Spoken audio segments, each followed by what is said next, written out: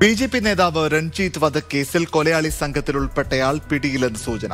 ആലപ്പുഴ വെള്ളക്കിണർ സ്വദേശിയായ S T P I പ്രവർത്തകനെ ബംഗളൂരുവിൽ നിന്നാണ് പിടികൂടിയത്.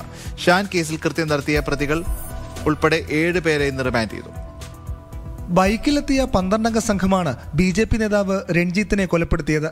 ഇതിലുൾപ്പെട്ട എസ് ഡി പി ഐ പ്രവർത്തകനാണ് പ്രത്യേക അന്വേഷണ സംഘത്തിന്റെ പിടിയിലായതെന്നാണ് സൂചന.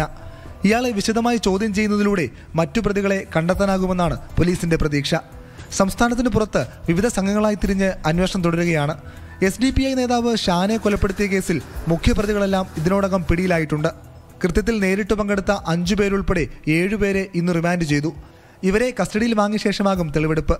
കൊലയാളി സംഘത്തിന് പ്രാദേശികമായി സഹായം ചെയ്തവരും ഗൂഢാലോചനയിൽ പങ്കെടുത്തവരുമായ മൂന്ന് പേർ കൂടി ക്രൈംബ്രാഞ്ചിന്റെ കസ്റ്റഡിയിലുണ്ടെന്നാണ് സൂചന.